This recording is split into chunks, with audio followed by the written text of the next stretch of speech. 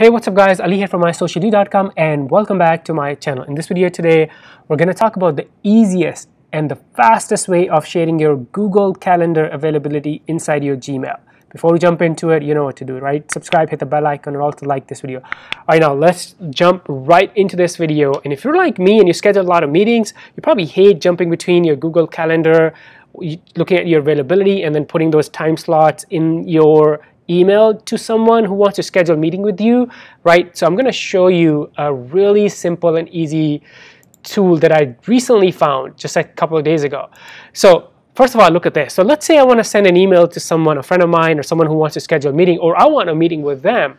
So this is kind of like alternate to uh, Calendly, because if you want meeting with someone, it kind of feels awkward to send them a link and say, hey, book a time on my calendar because actually you want meeting with them. So this tool is actually really, really cool.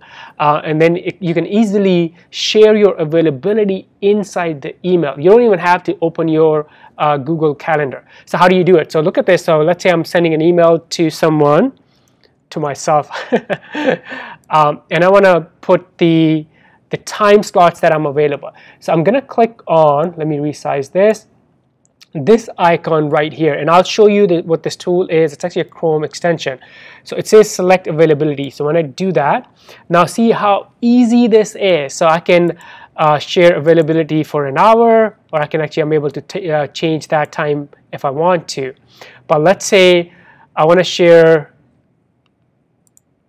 so Friday at 11 a.m. and then Friday at 4 p.m. and then Saturday at 2 p.m. right and boom, look at this. So it's super, super easy now. I can send this email and tell that person, hey, here are the open time slots on my calendar. So I didn't even have to, because what I used to do was open Gmail in one window and then go, my Google Calendar in another window and then go like toggle. Or sometimes I would open this thing right here, the sidebar, and look at the open time slots. So what this extension or this tool does, it makes it super, super easy. And it's called here is the name of that extension available uh, for Gmail. So if you go to Google uh, Chrome Store, search for available, it's a calendar availability software, add it to your Chrome, and then you're going to enter or you're uh, authorize your Gmail account, your Google Calendar, and that's it. And you are able to uh, select the time slot. So actually, let's go back.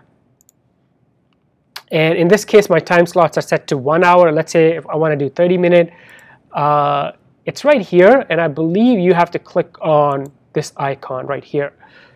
So there you go. It's changed to 45 minutes. It's changed to 30 minutes with another click. So you're able to select the, the time slot that you want to uh, do on your calendar. So super, super easy way to share your availability inside Gmail. If you have any questions, leave those below in the comments. Before you go, subscribe, hit the bell icon, and also like this video. I will see you in the next one. Bye for now.